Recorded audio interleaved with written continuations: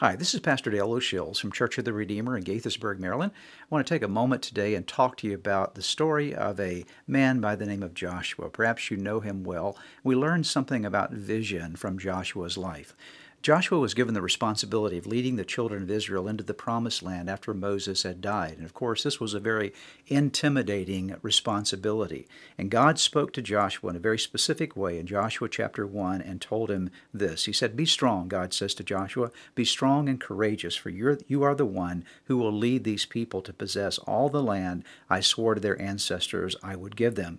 Be strong and very courageous. Be careful to obey all the instructions Moses gave you. Do not deviate from them, turning either to the right or to the left. Then you will be successful in everything you do. God imparted to Joshua that day a word of strength. And of course, Joshua was going to need that strength because he was going to face some battles, some challenges along the way. And the first of those battles, the first challenge, was the city of Jericho. And when God got uh, Joshua and the people of Israel to the to the edge of Jericho for this battle, there was a moment that God spoke again to Joshua. Notice what it ha- what it says here in Joshua chapter six, verse number two.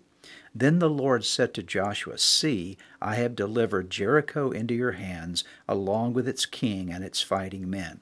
What I want you to grasp today is a very, very simple truth. Joshua's strength for the battle was found in his vision of God, his vision of the greatness of God and the promise of God. Before he even fought the battle, God told him, See the victory. I want you to see that this thing is already wrapped up, that the victory has already been won. Before you launch the first attack, before you march around the city one time, I want you to know that I've already taken care of it.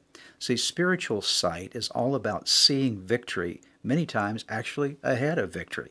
The victory is on the way, but we actually begin to rejoice in the victory before it physically or actually arrives. And so Joshua was to have this vision because the vision would give him confidence and strength to be everything God wanted him to be in the midst of that journey and in the midst of that battle. So, what I would say to you today is I want you to see Open up your eyes. Let God open your eyes today to see that the victory has already been won. You're not waiting for it to be won, it has been won. You'll see the reality of that in the future, but right now, hold to that spiritual sight that God has fought your battles for you already. You are a winner.